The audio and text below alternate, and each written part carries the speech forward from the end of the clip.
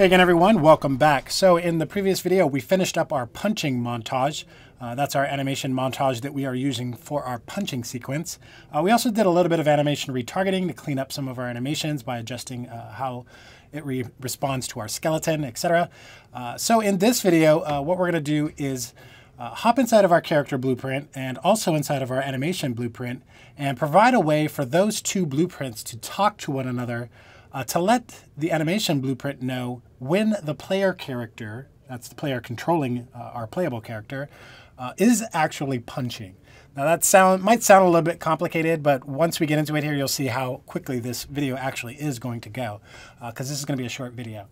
So uh, let's continue inside the editor here. Uh, if you have Persona up, go ahead and close it. We're not going to be using that at the moment, so I'm going to close this Persona window.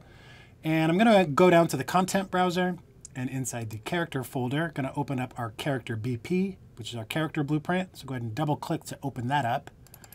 And once you have that open, again, there's our script for movement, jumping, uh, mouse uh, control, or camera control with our mouse, uh, gamepad controls for our camera, and touch controls.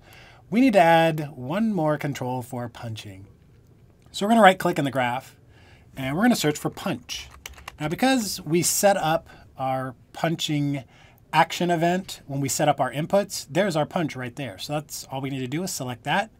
And it's going to give us our pressed and released, just like we did for our jump action event. And what we're going to do for this uh, is pretty simple. Actually, we're going to hop over to the My Blueprint window and click uh, near this plus sign. You'll see you'll mouse over it. It'll give us the new variable. So go ahead and click the plus uh, to add a new variable. We're going to call this variable is punching. Uh, punching like so, question mark. Uh, you can name whatever you want. We just want to know if the character is punching. And once we've done so, uh, we're going to hold Alt, hold Alt down on your keyboard, left click, and drag that variable into the graph, like so, and release the left mouse button. That's going to give us a set node so that we can set this variable.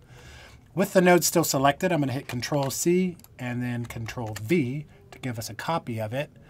And we're going to connect both the pressed and released to each of these nodes. So drag off the pressed, connect and drag off the released and connect.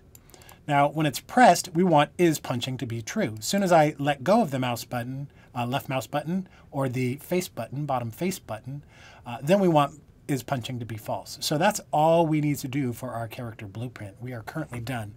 So I'm going to add a comment around this really quickly. Left clicking and dragging to select all the nodes, hit C, and this is our punching. Well, that's not how you spell punching, but that is punching. Okay, uh, let's compile and save this blueprint. So hit compile and save, and then let's close the blueprint. So now what we need to do is hop inside of our uh, character animation blueprint. So let's go down to the content browser and right next to it is our character anim BP. So go ahead and double click and open that up. And it should open to the event graph. Uh, if it does not, you can get from to it from the top. If you don't see the top, the tab up here at the top, uh, you can go down to the My Blueprint tab and then double click on the event graph. So what we need to do now is we have uh, all the functionality for determining if the character is in air, if they're in speed, but now we want to find out if the player character is punching.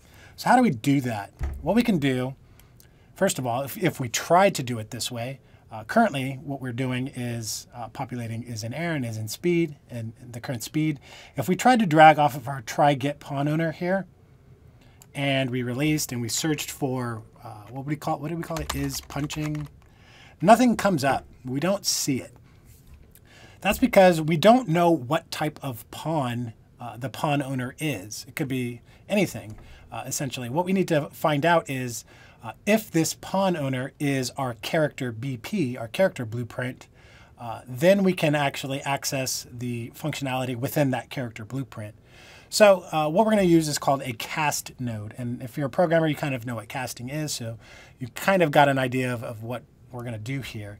Uh, if you're new to casting, it's, it's essentially what we're doing is uh, for the two blueprints to communicate to one another, we're checking to see, in fact, uh, when we use a cast node, is this a type of blueprint that we should be talking to? And if it is, then we can access the functionality inside that blueprint. So what we're going to do is drag off of the return value of our try get pawn owner here, and we're going to release. And when we do, we're going to search for cast to. Now we got a bunch of different options, options here. We're going to go up to our character blueprint there. So we're going to cast to our character BP, and it's going to give us a new node. We're going to drag that node up and connect it to the speed, like so. So let's connect our speed into this like so. And on our cast node, it gives us a couple options here. It gives us uh, an executable wire. It also gives us a cast failed. And then it also gives us a pin that says as character BP. Dragging off of this, we can actually access uh, the functionality inside of our character BP blueprint.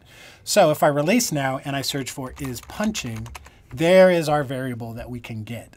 So what we want to do is get the value of is punching. And then what we're going to do here is right click on this and promote that to a variable. So now we have a variable inside of our animation blueprint that is tied to the variable inside of our character blueprint. Now we need to rename this. So I'm going to hop down to the My Blueprint uh, window here, uh, or actually in the Details panel over here. Let's just rename this for clarity. Uh, is punching. Same name. That's fine. And the last thing that we need to do is connect our executable wire here to our set. So if I mouse wheel out and look at our script here, what's going to happen, every frame we are updating and checking to see if we do in fact have a pawn owner. If we don't, we're not going to do anything. If we do, we're going to uh, check and see if the character is falling and set that as the variable for is in air. We're also going to get the velocity, the length of that velocity, and set that as our speed. But then we're going to cast to our character BP and say, are we using the character BP blueprint? And if we are, then we're going to get the value of punching and assign that to our variable inside of our animation blueprint uh, is punching as well, which we can then use to uh, set up our animation montage. Uh, I actually want to do that in a different video, so we're going to actually pause here. This is going to be a short video, so we're going to wrap here.